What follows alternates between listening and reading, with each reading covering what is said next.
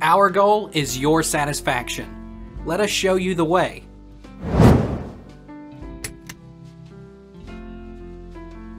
Is Razer Cortex safe to use?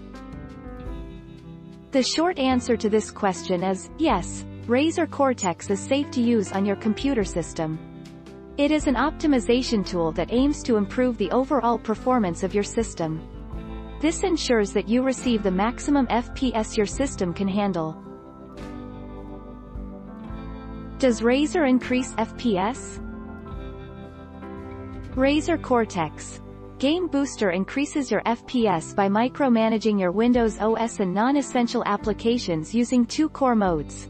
One that disables CPU sleep mode, and one that enables the CPU core to prioritize gaming. How can I boost my FPS? How to boost FPS and optimize your gaming PC. Update your graphics card drivers. Optimize your settings in-game. Defragment your hard drive. Check your background applications and startup processes. Overclock your RAM. Perform a BIOS update. What is Razer Cortex for? Razer Cortex. Game Booster improves your PC performance by managing and killing processes in apps you don't need while gaming, like business apps and background helpers. This frees up valuable resources and RAM needed for games, resulting in higher frames per second and smoother gaming performance. What games does Razer Cortex support?